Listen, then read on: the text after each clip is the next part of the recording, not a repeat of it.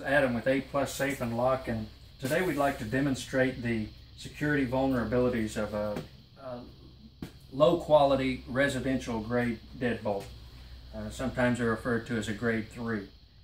Uh, this is a used but fully operational deadbolt. I don't have the key to it because it's used. I threw them out. But as you can see, the deadbolt fully works. It deadlocks into place. Your deadbolt is your primary first level of security on a house. A knob, a lot of people think is sufficient on a on a door, but it's really just for convenience to keep the door from blowing in the wind and so you don't have to do anything to lock it in place. When you close the door, it latches automatically. But I'd like to demonstrate today how easily a low quality uh, residential duty deadbolt can be bypassed with two common tools, a hammer and a screwdriver. So we've got this deadbolt locked fully open, deadlocked. You can see that it is tight. I've not done anything to compromise the security of this lock. The security of the lock is compromised sufficiently uh, from the factory for us to bypass it.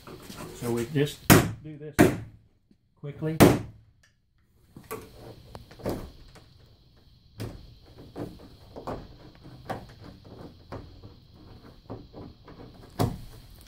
And there you can see the deadbolt has been fully bypassed in what, less than 30 seconds probably with these simple hand tools. And we've got here one of these deadbolts that has been compromised before, as you can see. And when you look at it from the side, you see what goes into the door. And in this case, it's next to nothing, just the tailpiece of the lock, which actuates the deadbolt itself there is nothing going into the door, so naturally when the bolt when the, the lock is tightened onto the door, it can slip around with sufficient force. This, however, is a grade 2 heavy duty, commercial duty, whatever you want to say, deadbolt. As you can see, this shroud goes into the door, so when it's tightened into place, the shroud prevents movement out of the hole.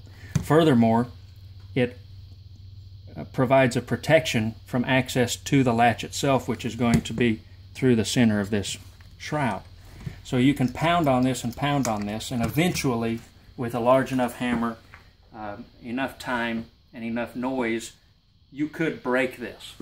But the idea with uh, a lot of residential security is to make it uh, noisy enough, uh, cause enough commotion to draw attention to the burglar, or the thief, whoever may be trying to enter into the house surreptitiously, uh, so that they draw attention to themselves and they're driven away by whatever fashion.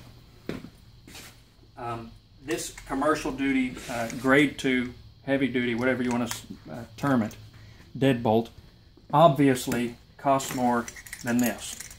These cheap residential deadbolts come in a variety of names. Uh, this particular one is a design house. Another common one is uh, Defiant. Brinks makes some. There's a, a, variety of names, and the market, at least in central Arkansas, where we're located in north central Arkansas, these are the market is saturated with these locks.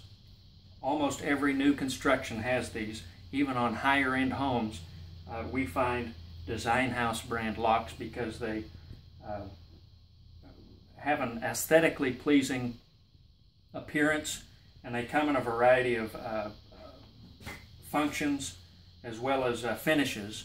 So they're easy to get what you want, but the security is almost non-existent in this uh, design. Uh, a grade 2 deadbolt is going to cost you more money than a grade 3 residential deadbolt like that. But what needs to be considered in your purchasing, when you're purchasing locks for your house is what is it protecting?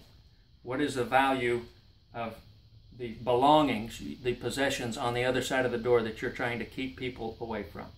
What is the value of the lives that you're putting on the other side of that door?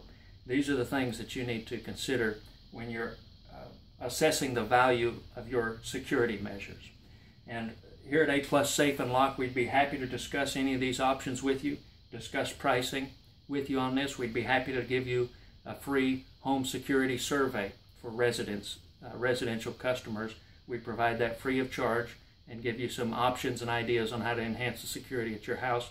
We'd be glad to discuss any of those things with you. Uh, feel free to give us a call at 501 450 0441 in the Central Arkansas area. Thank you very much.